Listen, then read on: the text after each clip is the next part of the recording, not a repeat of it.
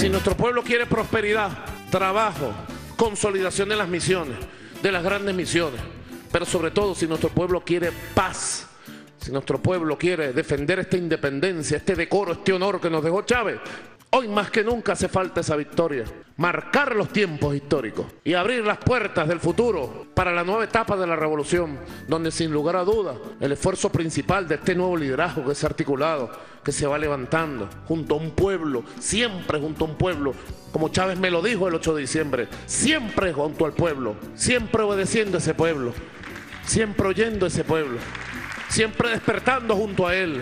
Importante que nosotros sepamos dónde estamos parados y pisemos firme. Nosotros defendemos la verdad más grande que se haya defendido en la historia de esta patria. Tenemos moral y tenemos cara para salir a dársela a ese pueblo allá en la calle todos los días, todas las horas.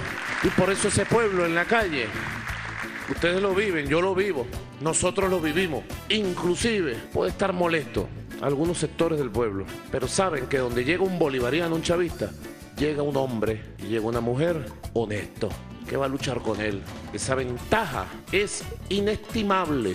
Debemos ir tomando conciencia cada vez más, tener la altura de la conciencia que exige el momento histórico para saber que debemos forjar un liderazgo colectivo de nuevo tipo, profundamente revolucionario, que irrumpa desde las bases y que construya el socialismo bolivariano en estas condiciones que nos toca en Venezuela.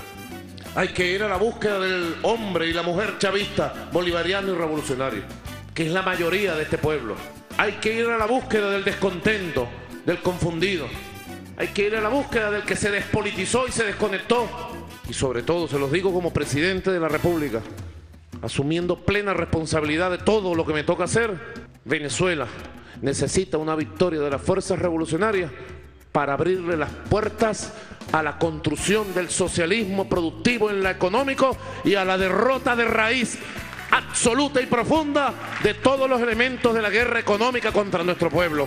Necesitamos una gran victoria política para despejar el camino. Chávez vive.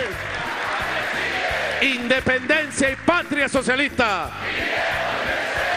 Rumbo a la victoria, camarada. Hasta la victoria siempre.